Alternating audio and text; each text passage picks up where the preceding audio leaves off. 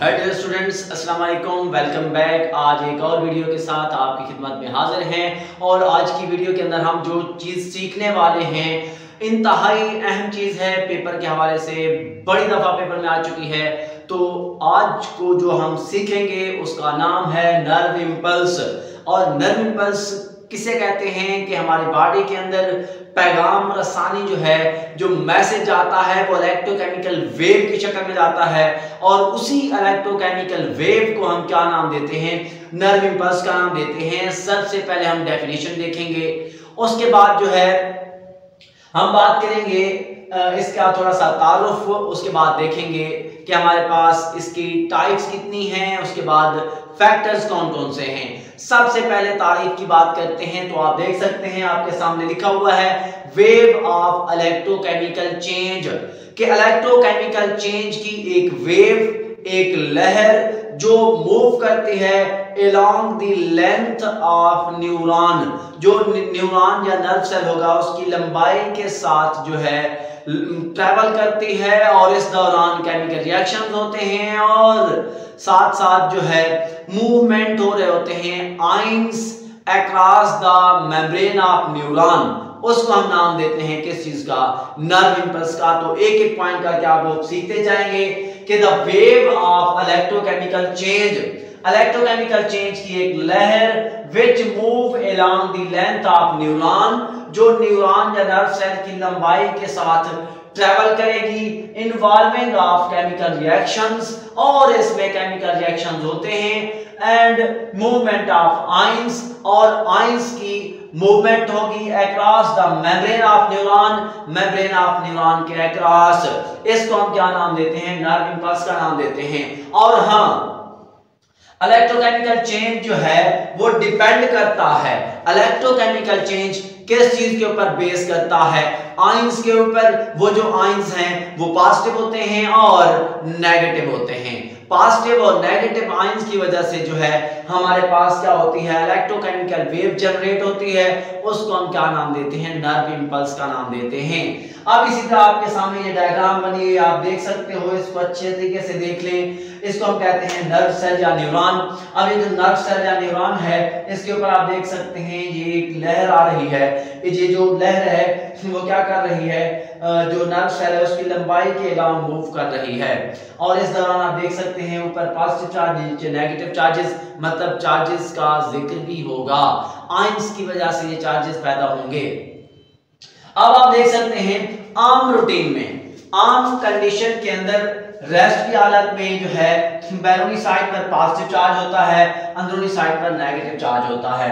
अब अगर पॉजिटिव और नेगेटिव चार्जेस की बात की जाए, ये क्यों होते हैं तो आप देखें कि potassium ions inside 150 millimole per litre होते हैं।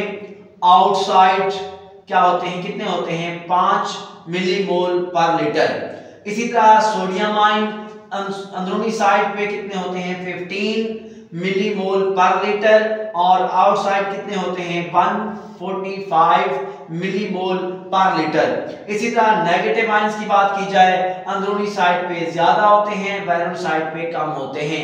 इन कंडीशंस की वजह से रेस्ट की हालत में जो है बैरूनी साइड पे पॉजिटिव चार्ज होगा, अंदरूनी साइड पे नेगेटिव चार्ज नज़र आता है।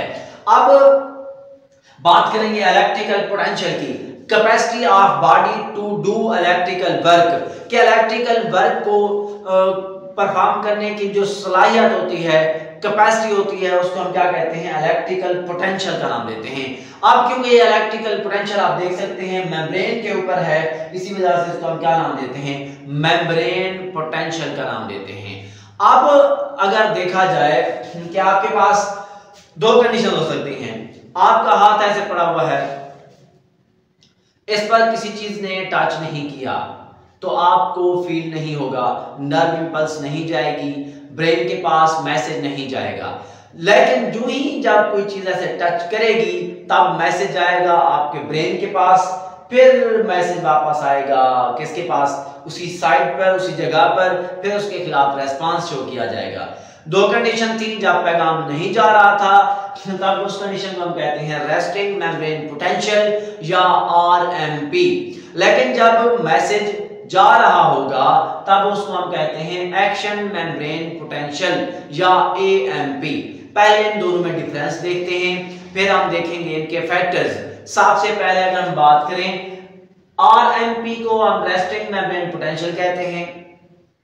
ये पोलराइज्ड स्टेट है। इसको हम एक्शन मेम्ब्रेन पोटेंशियल कहते हैं। ये डीपोलराइज्ड स्टेट है और इसमें नॉन कंडक्टिंग स्टेट जो है, इसके अंदर कोई भी नर्व पल्स कंडक्ट नहीं हो रही होती। वहाँ पे जो है कंडक्ट हो रही होती है, इसी वजह से वो कंडक्टिंग स्टेट है और ये नॉन कंडक्टिंग स्टेट है। अब आप माइंड में रखें। आरएमपी के दौरान बैरूनी साइड पे पॉजिटिव चार्जेस होते हैं, नज़र आते हैं ज़्यादातर, और अंदरूनी साइड पे चार्जेस नेगेटिव नज़र आते हैं। लेकिन इस कंडीशन में बैरूनी साइड पे नेगेटिव और अंदरूनी साइड पे पॉजिटिव चार्ज नज़र आता है। अब अगर हम रिकॉर्ड देखें कि कितना इलेक्ट्रिकल पोटेंशियल रिकॉर्ड किया जाता है आरएमपी के दौरान तो वो है माइनस सेवेंटी मिली वोल्ट इसी तरह अगर यहाँ पे देखा जाए तो वो है प्लस फिफ्टी मिली वोल्ट अब अगर हम बात करें कि ये जो आपके पास आर एम पी है, इस दौरान बाहर पॉजिटिव चार्जेस अंदरूनी साइड पे नेगेटिव चार्जेस कैसे आते हैं? ये कैसे हो गया है? तो इनकी वजाहत करने के लिए हम फैक्टर्स को पढ़ेंगे।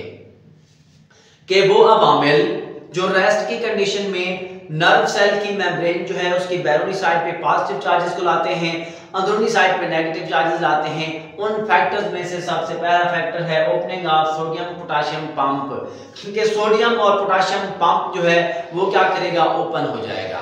जब सोडियम पोटाशियम पंप ओपन होगा तो आप देख सकते हैं कि यहाँ से बैरूनी साइड पे क्या हो गया है?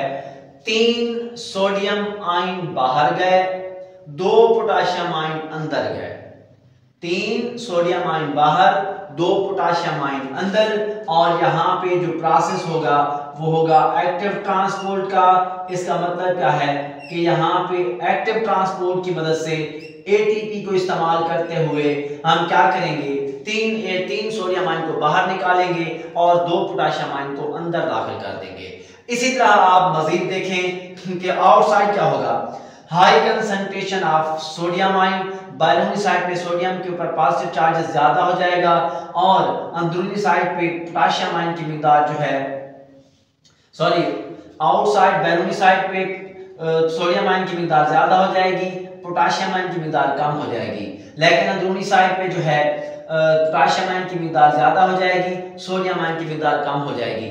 अब आप ये देखें, आप ये कहेंगे कि हमने बैरूनी साइड पे सोडियम भेजा है, अंदरूनी साइड पे पोटाशियम भेजा है, बैरूनी साइड पे पॉजिटिव चार्ज आया था सोडियम की वजह से।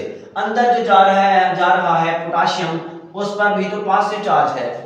इसको आपने अभी माइंड में नहीं रखना, हम अगले पॉइंट में इसकी वजाहत करते जाएँगे।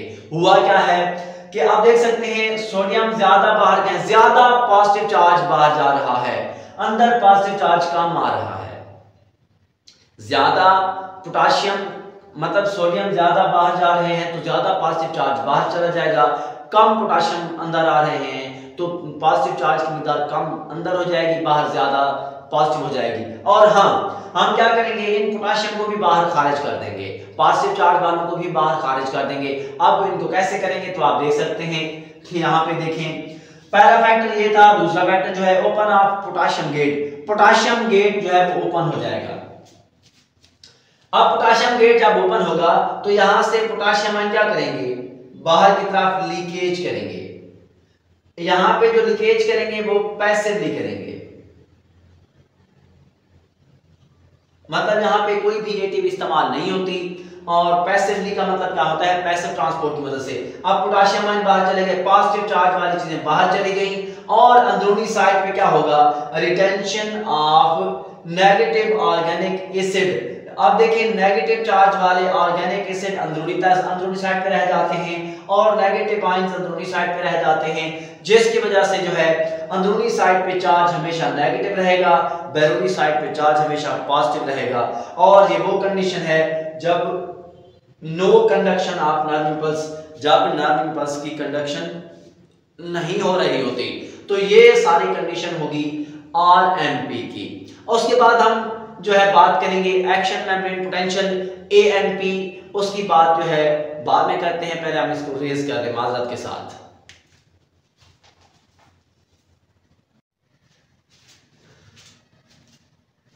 अब हम बात करेंगे एक्शन मेम्ब्रेन पोटेंशियल के फैक्टर्स के हवाले से।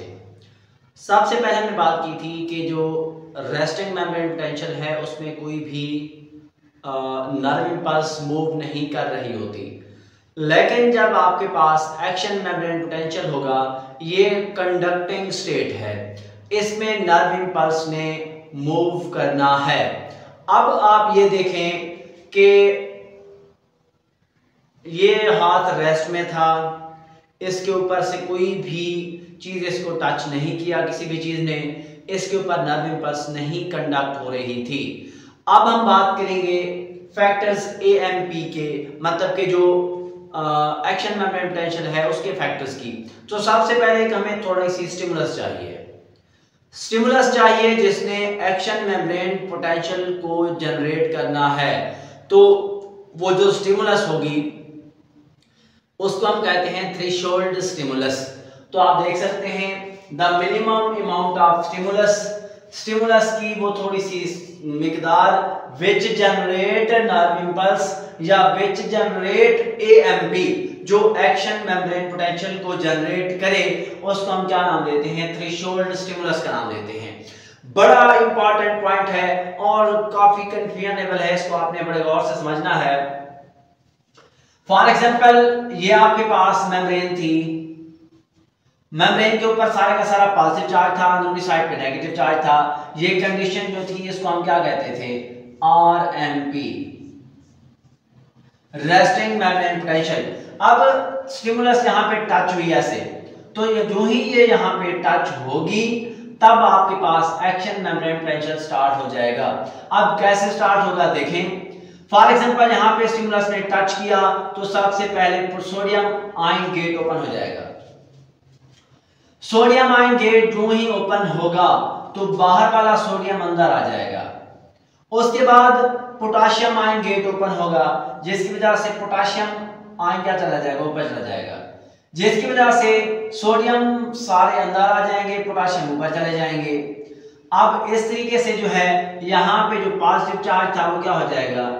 नेगेटिव और अंदरूनी साइड पे पॉजिटिव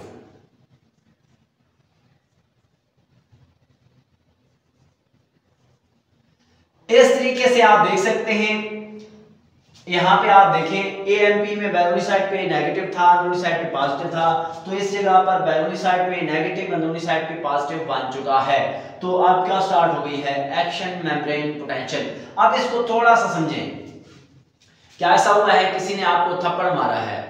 तो थप्पड़ जो ही मारा है तो ऐसा तो नहीं है कि पूरी ज़िंदगी आपको थप्पड़ लगता रहेगा लगता रहेगा। मतलब पेन ही रहेगा, ऐसा नहीं होता। तो जो फीलिंग्स होंगी, वो थोड़े से बात के लिए होती हैं। जैसे यहाँ पे एक और चीज़, किसी ने यहाँ पे कुछ मारा है ऐसा नहीं है कि आपको पाँव में फील हो, कि वहाँ पे कुछ लगा है।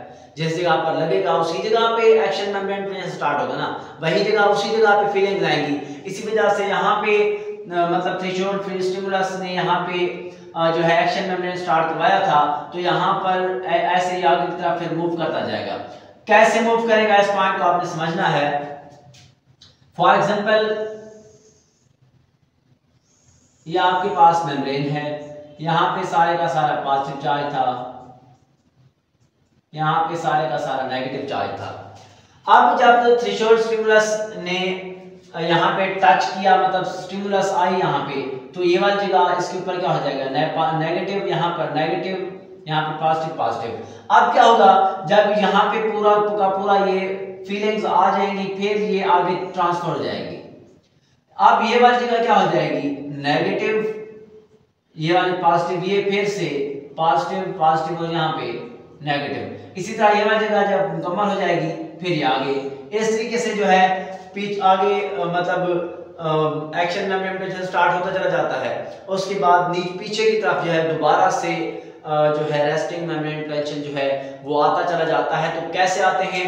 क्योंकि ये वाली जो चीज़ थी स्टिमुलस के लगने की वजह से ये वाले गेट ओपन हो जाते हैं जिसकी वजह से एक्शन मेम्ब्रेन प्रेशर स्टार्ट हो जाता है। एक्शन मेम्ब्रेन प्रेशर की वजह से नर्व इम्पल्स जो ही आगे की तरफ़ चल, चलती जाती है पीछे से फिर से ये जो सोडियम पोटाशियम पंप होते हैं वो मतलब ओपन हो जाते हैं। जिसकी वजह से फिर से जो है रेस्टिंग मेम्ब्रेन पोटेंशियल वाला सिस्टम जो है वो स्टार्ट हो जाता है। इस तरीके से नर्व इम्पल्स आगे की तरफ़ चलती चली जाती है।